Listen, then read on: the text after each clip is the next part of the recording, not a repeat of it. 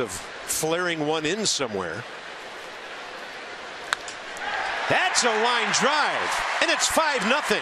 Espinosa makes the turn. He'll stop and go back, and Danny Espinosa has two RBIs.